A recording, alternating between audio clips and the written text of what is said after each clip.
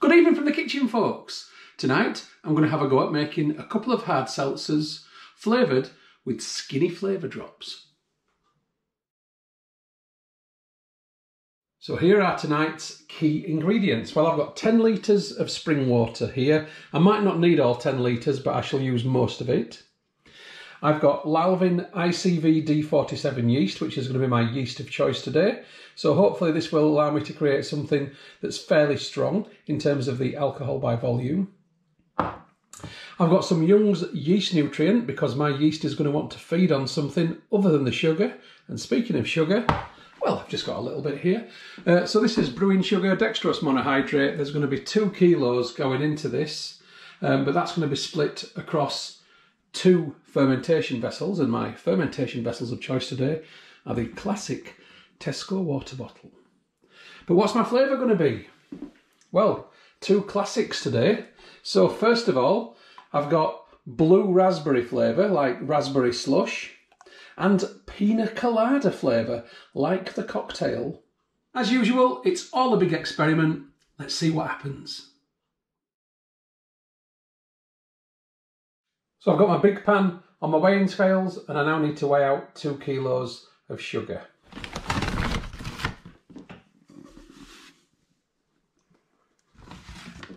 So I'm just going to keep going with this until I hit two kilos.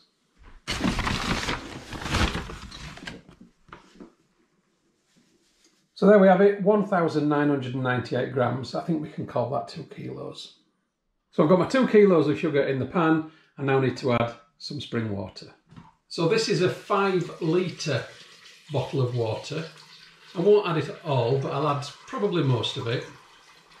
It does dissolve fairly easily, the brewing sugar. I'm using spring water, incidentally, because it tastes a little bit better in the end product. The tap water in Leeds is a bit chloriney.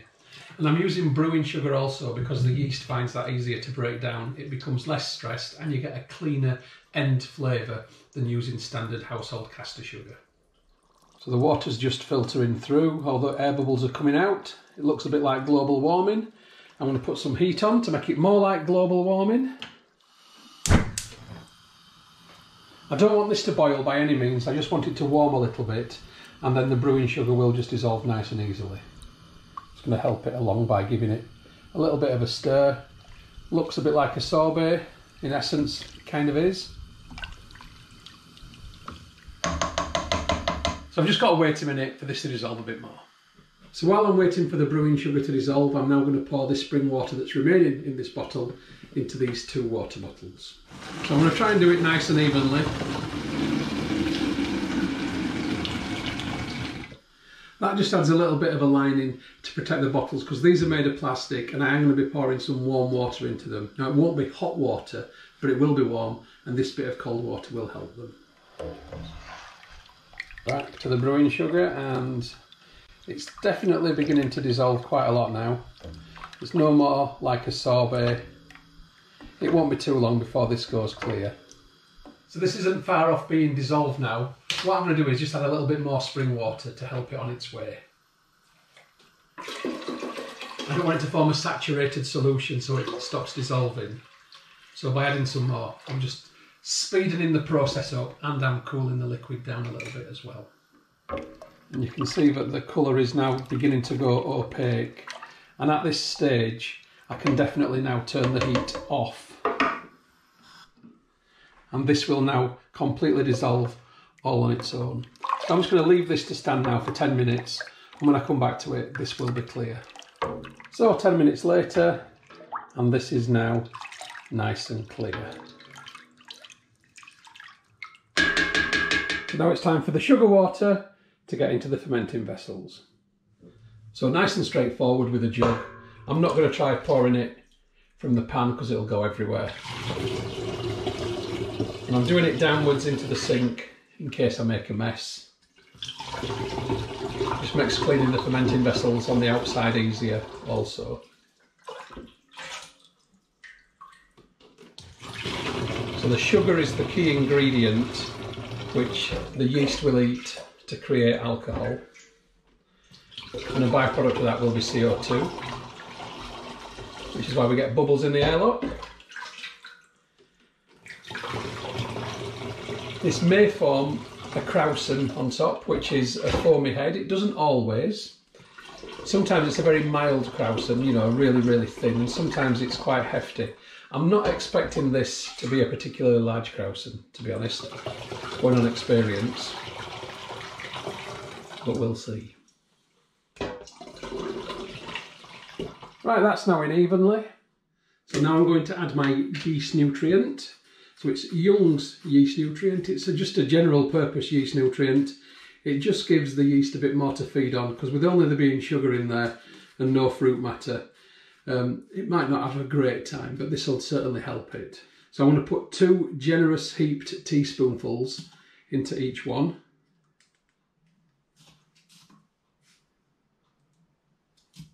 Okay, I'm going to wash that through with a little bit of spring water.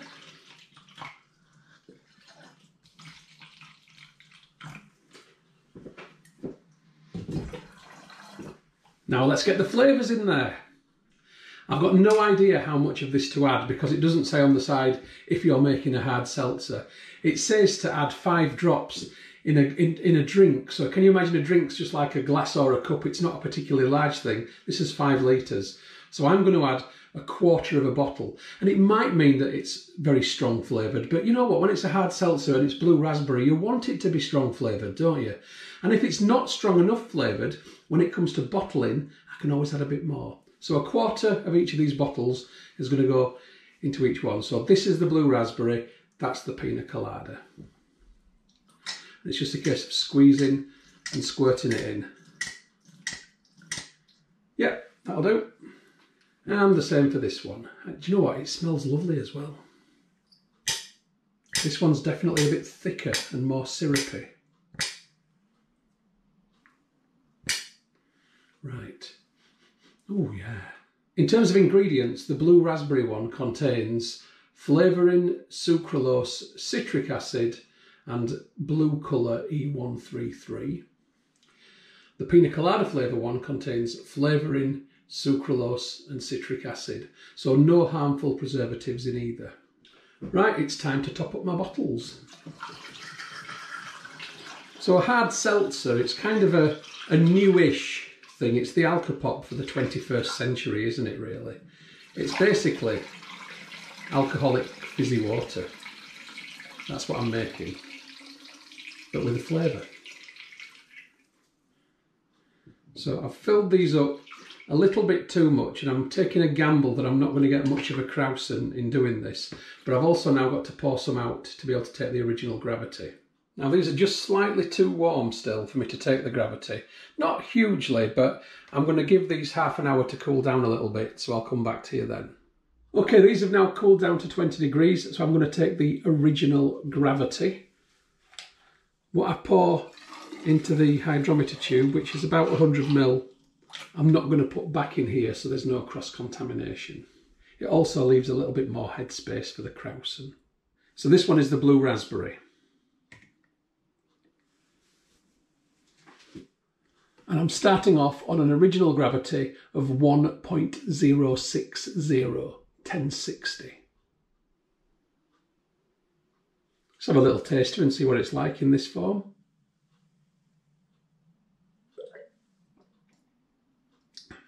Wow. It's lovely. It just tastes like the Slush Puppie. Yeah. I think this will make a really nice seltzer. It should dry out a lot with the seltzer, so the sweetness of the essence that's gone in there with the dryness of what in effect will be kind of like a wininess should be quite nice, I think. Let's try the pina colada. If you like pina colada.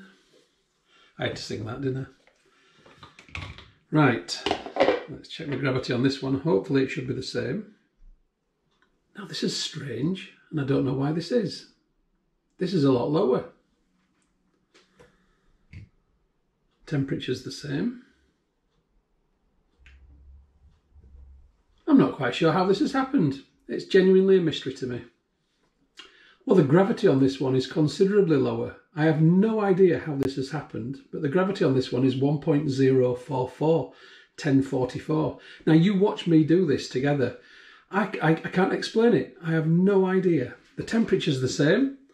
I thought they'd got the same within them, but very, very clearly different readings. I can't explain that. If anyone can offer an explanation, please do so in the comments. Anyway, let's have a little try this one. Just like a pina colada. Really nice. Out of the two so far, I think my favourite is the blue raspberry actually. But let's see what I think when they've been fermented. So for these to be fermented, I of course need to add yeast.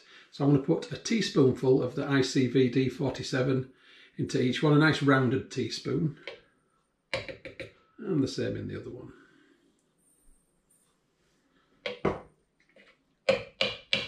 Give that a little agitation so the yeast begins to sink a little bit and doesn't all float on the top. It'll probably take a little while to get going. You can see the yeast clouds it up. So just to keep out any contaminants, I'm now going to put the airlocks in place. I will need to remove the airlocks when I eventually move these bottles because these are plastic bottles and when you pick them up they go and suck in and it'll suck the airlock water into the brew and I don't want that to happen just in case of contamination. But just for now I'm going to put the airlocks in place to keep any contaminants, airborne contaminants out.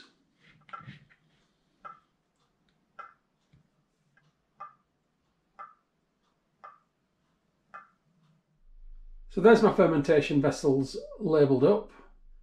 We'll have a little update once fermentation has begun. Hey folks, quick fermentation update on my hard seltzers. So here they are and they're fermenting nicely. On the left pina colada and on the right blue raspberry. And the eagle-eyed amongst you will notice that the blue raspberry is now in a glass demijohn rather than in a plastic water bottle. And that's because the plastic water bottle evidently wasn't airtight. I was getting no bubbles in the airlock, so I've swapped it over and they're both going really well. They were very slow starters. They took about three days to really pick up and get going, but then they've been nice and steady now for the past five days. So this is eight days in and it's looking good. So the next film that you see from me will be in about three weeks time when it comes to hopefully bottling, but if not bottling, clearing. Catch you then folks. Good morning from the kitchen, folks. It's been 10 weeks since I've made my hard seltzer, and now it's bottling day. Let's have a look at it. So as you can see, the blue raspberry has maintained a blue tinge. It's completely transparent. And the pina colada one has got a very slight yellow tinge. And again, it is also transparent. It's cleared nicely and naturally by itself. This has fermented for quite a while, actually. It probably was uh, bubbling in the airlock for six weeks, and then for the last month, I've just had it somewhere cool, so it cleared. So I've got my bottles cleaned and sanitised, and I've got my plastic bungs in very hot water softening up. So let's crack on. So before I get the seltzer into the bottles, I need to add some sugar. This is for priming or conditioning, and this will make my seltzer have a sparkle fingers crossed. So this is standard household caster sugar and in each of these bottles I'm putting the equivalent of one and a half uh, teaspoonfuls. The yeast which is left in this will eat this sugar, it will create a very fractional fermentation and a byproduct of that will be CO2. That will create pressure and that's what gives it a sparkle. So I've got my bottles primed with the sugar it's time to get the bung out of the demijohn and put the siphoning tube in. So just to note that I've got the tube held in place with this clip. The bottom of the tube is just into the very narrow sediment line. The first bit that comes out will be milky, but that's going to go into the hydrometer flask. Let's do it. And it's coming out nice and clear actually. So there's 100ml in the hydrometer flask and now I'm into the bottles Smells really fruity actually, so that's a good sign. Hopefully it's going to taste nice. Looks really nice and clear in the bottle.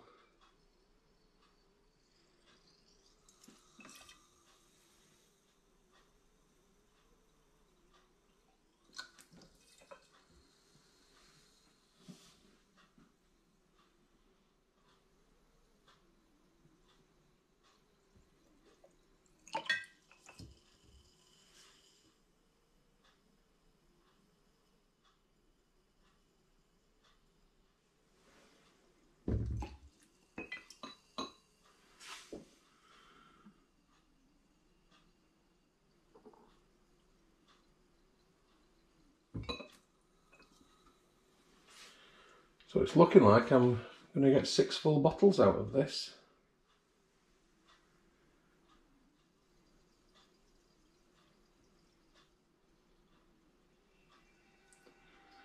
And there we go, bubbles in the siphoning tube.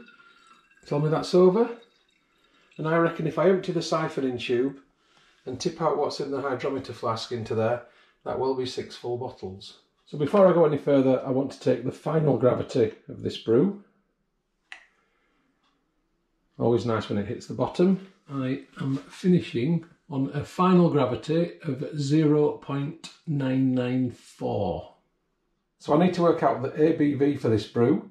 So I take the original gravity, which was 1.060. I deduct from that the final gravity, 0.994. This equals 0.066.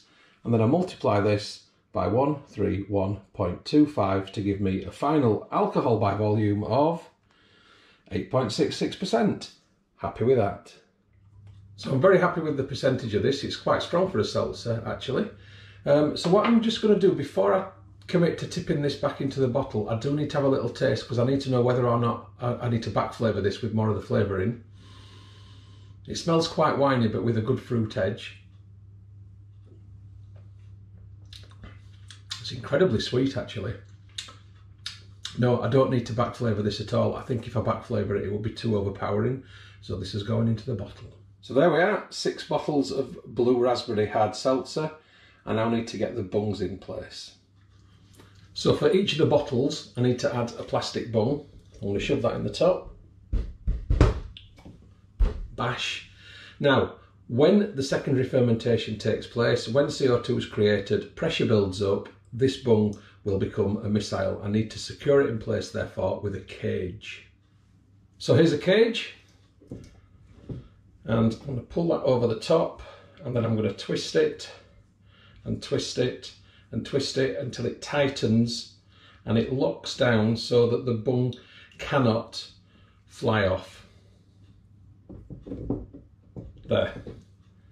So that bottle is bunged and caged. Now I've got to do this another five times here then I've also got to siphon out the other one into bottles and bung and cage that. You don't need to see me do all of this all over again. So I'll come back to you when I've bottled all of the other ones and we'll look at the ABV of the other hard seltzer, the pina colada flavour. So I'll catch you in a few minutes. Okay, that's the pina colada one bottled as well. Let's take the final gravity of the pina colada Alcopop, or hard seltzer, I should say. And this one has finished on 0.992. So it's interesting how they've both had different original and final gravities. So the Pina Colada Alcopop began on an original gravity of 1.044. I deduct from that the final gravity of 0.992.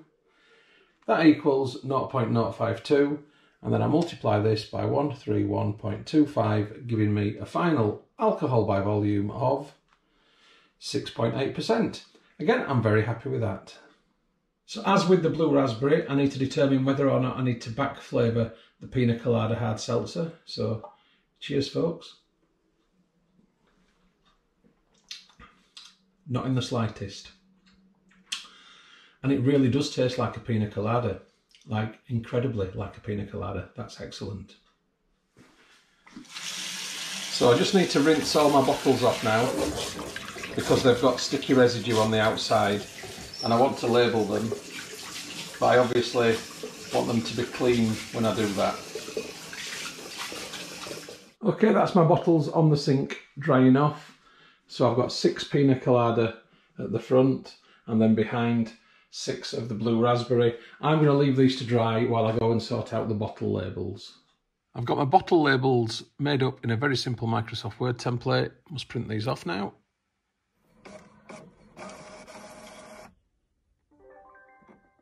It's time to get the labels on the bottles. So I'm beginning with the Pina Colada. And I'm going to have to put this near the top of the bottle, near the neck as the shape of the bottle and the texturing on the glass doesn't allow for the label to neatly place where you'd normally put it. Anyway, you don't need to watch me do every single label. I'll be back. And here's the finished article. I think they look quite nice.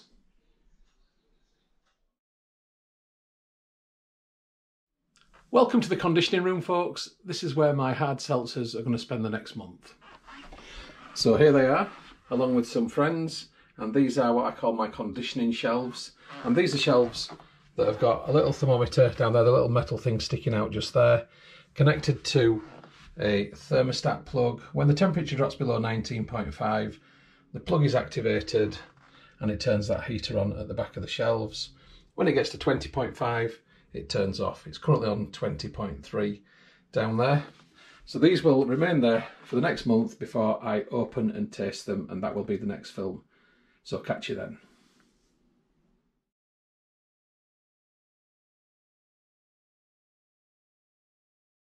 From the kitchen, folks. It's my hard seltzers opening night, the grand opening night, and we're going to begin with pina colada. And this is going to be a lovely drink for today. It's 20 degrees Celsius outside, baking sunshine, and it's actually the night of Eurovision Song Contest. So that's what we'll be toasting, hopefully a UK up there result with. I don't know if we'll win or not. Do you know what? I don't really care whether we win or not. It's just a bit of fun in it. Just like brewing. Right, so you can see very well that it's clear. I don't need to tell you that it's clear.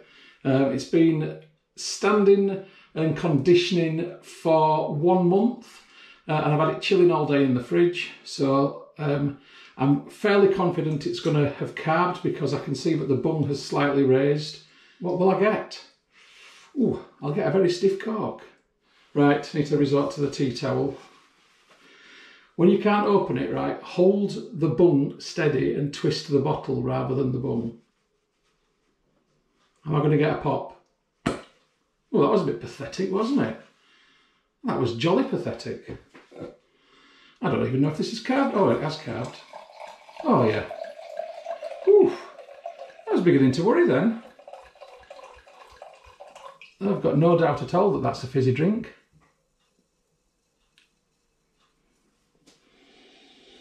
It smells very alcoholic, but not apparently a pina colada smell. Okay, I've got the coconut now, but you've really got to get your nose in there to get that. Let's see what it tastes like. Wow, that's sweet. Ooh! Gosh, that really is like pina colada. It's a bit like um, Malibu and lemonade, but maybe a diet lemonade, so it's not got that massive sweetness. It is like alcoholic fizzy water that tastes like pina colada. That is exactly what it tastes like, you know. So I've, I've, I've brewed a hard seltzer. That's what I've set out to achieve. I believe that's what I've got. It's a nice enough summer drink. Not something I would drink every single day, but certainly not something that's offensive either. So I'm going to enjoy this one. Cheers, folks.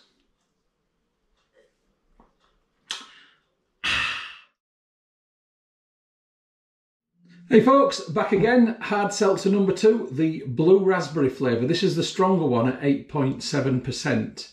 So having sat outside and had a drink of the other one uh, with the missus, we've decided that it tastes like Malibu and soda water, which you know what, is not a million miles away really from what it actually is in terms of the flavour. So winner really, it works. Sickly if you drink too much, but certainly between two people a bottle of it's fine. Not every day though. Right, so blue raspberry, am I going to get a pop? Same problem with the bung. Twist the bottle. There we go. Oh, a bit pathetic, but there's vapour, right? So am I going to get any kind, oh yeah, yeah, that's carbed. You can see that, lovely. Really well carbed.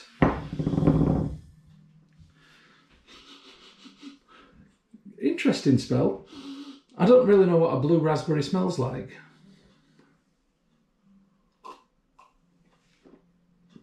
Wow, definitely fizzier on the tongue than the other one. And a nicer flavour. That is actually quite lovely. I wasn't expecting to like this one. I thought it might taste artificial and plasticky, but it's actually very nice. So out of the two, the blue raspberry is definitely my favourite. But the hard seltzer recipe has worked. It's dead easy. It's easier than a turbo cider. It's a sugar wash with some flavouring in there. It doesn't get any easier than that. Go try it for yourself. Anyway, cheers folks. I'm going to enjoy this and hopefully going to see a good result in the Eurovision tonight. And I'll catch you on the next brew. The film that you've just watched is a Moss Home and Garden production. You can find more by going to www.mosshomeandgarden.co.uk. I'd just like to say thank you very much for supporting my YouTube channel and for watching my films. It really is very much appreciated. If you haven't already done so, please subscribe to my YouTube channel in order to receive future updates about the home and garden films which I upload. You can find my YouTube channel by going to www.mosshomeandgarden.co.uk. Please click on the red subscribe button. When you've done that, a little bell will appear. If you press that also, then you'll get future updates about the films which I upload. If you like my films, if you like my style of filming, then you might also like my travel channel, which you will find by going to youtube.com forward slash Stuart Moss or type in www.mosstravel.tv Again, if you could subscribe to that channel, it would be hugely appreciated. If you'd like to get Moss Home and Garden updates on Facebook, then please open Facebook and do a search for Moss Home and Garden and you will find the page. If you like the page, then you will get future updates on there. And if you'd like to connect on Instagram for home, garden and travel photography, as well as some stories, then my username is Stu Moss, S-T-U-M-O-S-S. If you'd like to connect on Twitter, then my username is at Stuart Moss. And if you'd like to contact me about film usage or any other issue, please just email me on stewmosshomegarden at gmail.com. Once again, thank you very much for supporting my channel, for watching my films. I do appreciate it. I'd just like you all to have a great day.